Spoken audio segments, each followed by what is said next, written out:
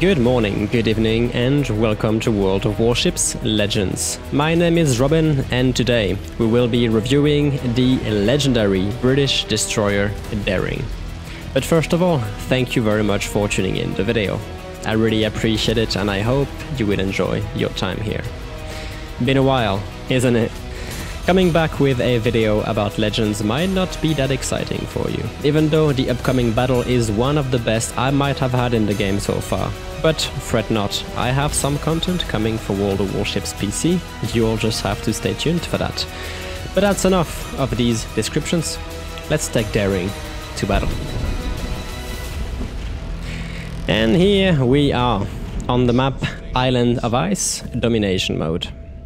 For those that don't really know about World of Warships Legends, it's obviously the console version of Warships with some differences here and there, the most obvious being some tier differences and the matchmaking being 9 versus 9 instead of 12 versus 12. Daring is the most recent introduction to the highest tier you can get in this game, aka Legendary. And I have to admit, the ship is a beast of a destroyer, we are also running a special commander on it, which allows you to combine withering firepower with great utilities on the smoke, sonar and torpedoes. I will display all the skills and their effect on the screen, so you can get an idea of the modifiers. But back on the game at hand. I am currently in a division with a Minotaur, commanded by Sihales, which is actually one of my work colleagues. The matchmaking shows no carriers, 5 battleships, 1 cruiser and 3 destroyers on each teams, with no radar whatsoever, and that makes us feel quite confident about trying to push the B cap early on.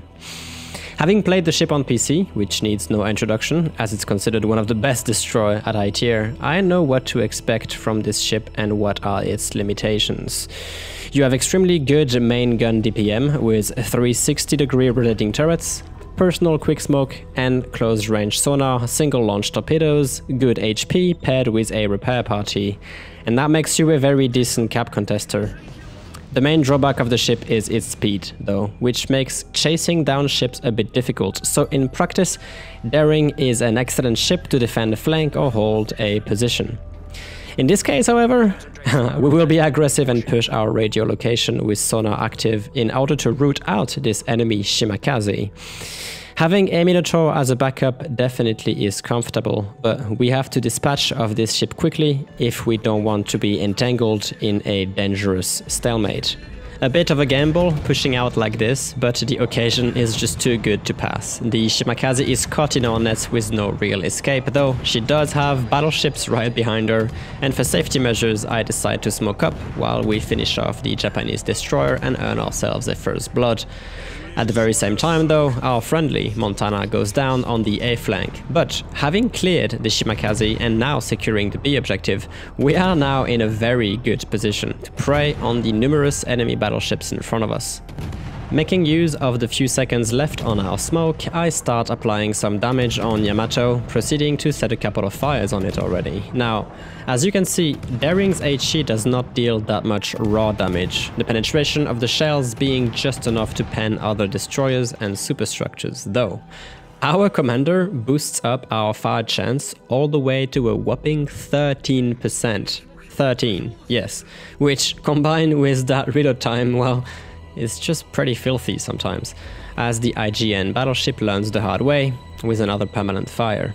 But it's time to stop farming and start spotting. The complete vulnerability of the enemy team on the middle map is going to be quite pivotal for our success this game. The only cruiser the enemy team had just got destroyed as well on the C flank and that leaves mainly a fight between destroyers and battleships.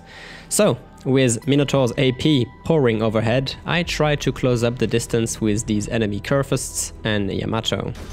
We are also in torpedo range, so why not make use of them?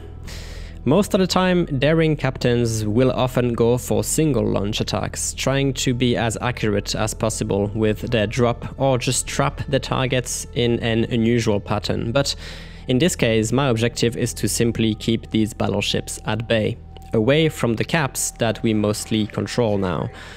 Lots of options around me as well, four battleships to spot and lurk around, though the Kurfürst is definitely getting close.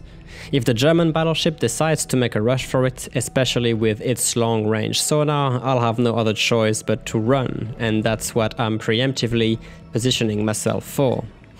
Only one friendly destroyer is left to defend the A area as well, and with my torpedoes unfortunately going amiss, we are already on the back foot. But if the this Kurfürst starts to push, I will make sure to make him pay for it as much as I can. So, smoke up and let's make our guns sing again. See, daring has this sort of satisfying feeling of reliability that I really enjoy. Being able to maintain pressure with both guns and torpedoes, not sitting in its smoke long enough to be a torpedo magnet, but just enough to remove some chunks of HP, reposition while spotting, and start all over again. I think that this jack of all trade aspect is what makes the ship so strong and sometimes unpredictable for the enemy team. As much as I would love to be more aggressive, we need to be very cautious. The enemy team is wiping the ocean floor with our allied forces on both flanks, and I'm a bit concerned about being surrounded soon, especially in this now 4 versus 7 situation. The Kurfürst pushing B actually had me retreat at the right time. A few salvos in the open before we realize that a much more important situation is developing at A. Enemy gearing has been spotted and is engaging our friendly destroyer.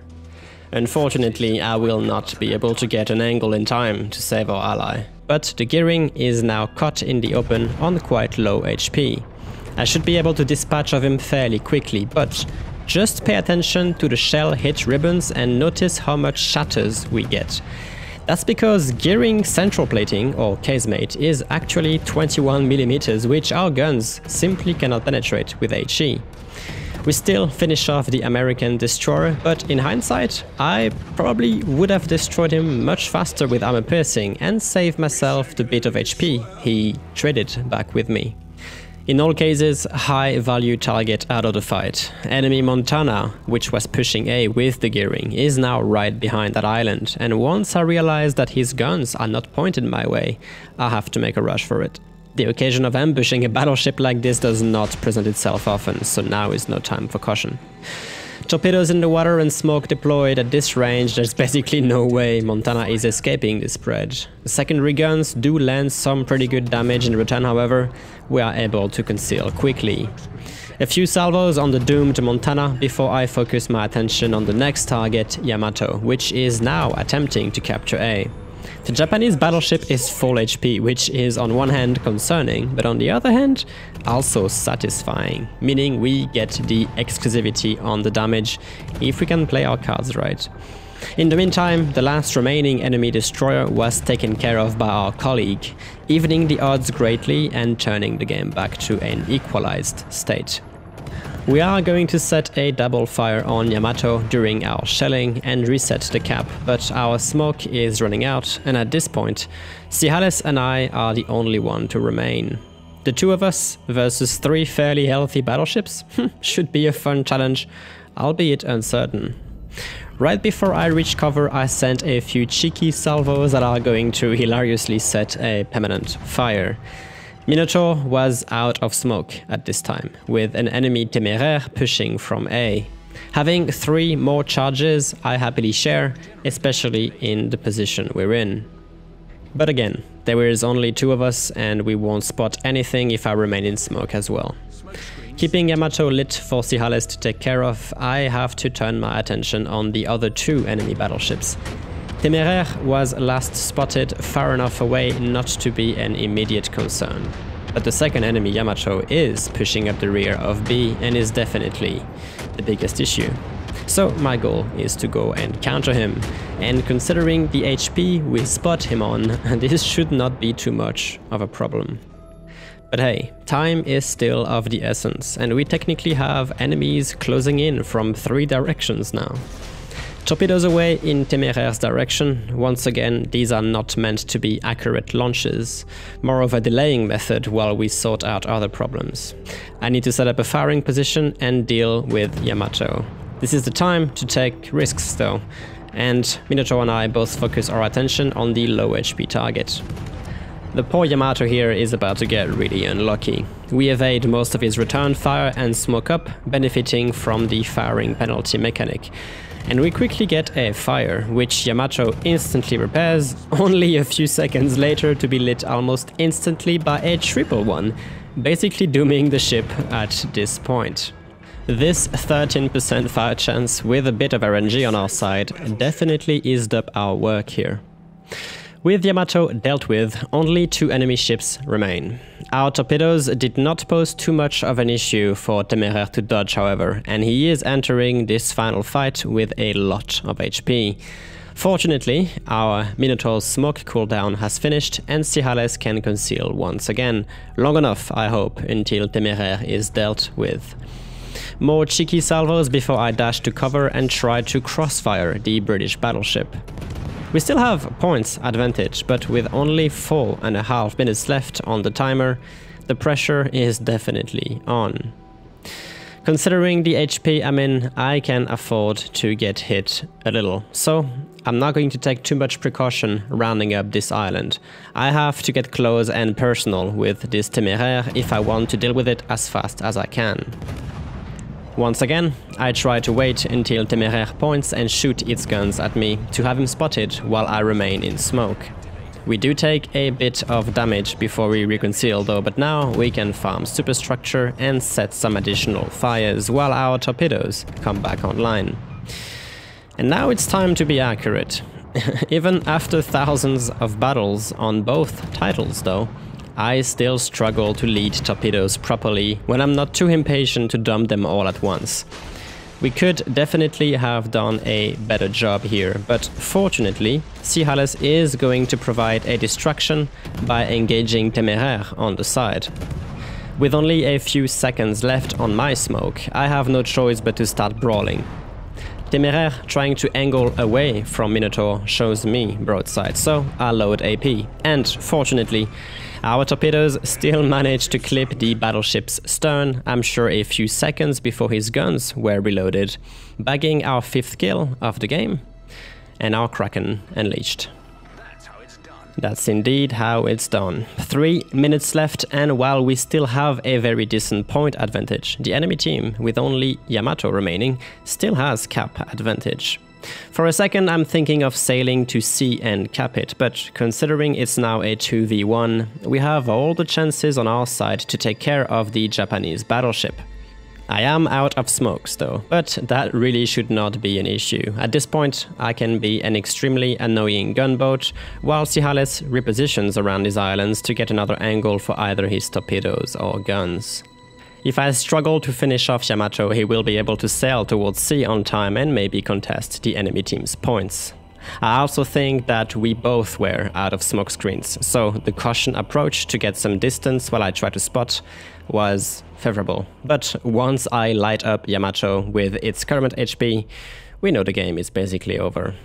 I sent out my very last torpedo, one I forgot to fire towards Temeraire earlier on, and we engage with guns. We have 15,000 HP left. I doubt Yamato can take us out that easily, and I have the support of Sihales in all cases.